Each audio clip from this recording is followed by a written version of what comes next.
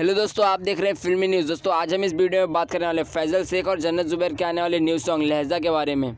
पर उससे पहले अगर आपने हमारे चैनल को सब्सक्राइब नहीं किया तो प्लीज़ जल्द से जल्द रेड बेल आइकन को दबाकर हमारे चैनल को सब्सक्राइब कर लीजिए। आपको बताइए दोस्तों, social media celebrity mister Faizu और टेलीविज़न अभिनेत्री जन्नत जुबैर एक रोमांटिक सिंगल टाइटल लहजा में एक साथ दिखाई देने वाले हैं। दोस्तों, इस वीडियो को नागपुर में एक असली शादी के दौरान शूट किया गया है।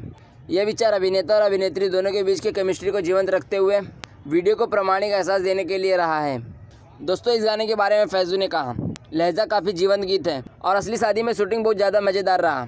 इसके अलावा जन्नत के साथ काम करने से सेट पर आराम और केमिस्ट्री मिलती है, जो मेरे लिए आसान हो जाता है। यह एक प्यारा रोमांटिक गीत है और हमने शूटिंग के दौरान बहुत मज़ा किया।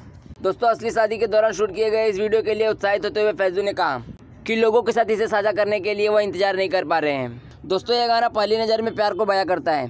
आपको बताया दोस्तों, यह गाना अमित सिराजी द्वारा लिखा गया है। और यह गाना विक्रम मांट्रोस द्वारा रचित किया गया है और इस गाने को अभिदत्त ने गाया है। दोस्तों, गाने के बारे में बात करते हुए जन्नत जुबैर ने कहा, यह एक सुंदर गीत है। यह लॉकडाउन के बाद मेरा पहला शूट था। इसलिए मैं सेट पर आने के लिए अधिक उत्साहित थी। इस गाने के बारे में गायक अभिदत्त ने कहा, मैं वास्तव में इस नए गीत का इंतज़ार कर रहा हूँ। यह एक बहुत ही सरल, ईमानदार और स्वच्छ रोमांटिक गीत है, जिसमें एक सुंदर इंडियन सोल है। और मैं ये देखने के लिए इंतज़ार नहीं कर सकता कि क्या दर्शकों को यह गीत उतना पसंद आएगा, जितना हमने इसे बनाते समय पसंद किया। आपको बताया दोस्तों, इस वीडियो को राहुल शेट्टी द्वारा निर्देशित और कोरियोग्राफ किया गया है। तो दोस्तों, अगर आपको हमारी वीडियो अच्छी लगी तो वीडियो को लाइक और शेयर करना ना भूलें और ऐसी वीडियो के लिए हमारे चैनल को सब्सक्राइब करें ताकि हमारी वीडियो सबसे पहले आप तक पहुँच सके।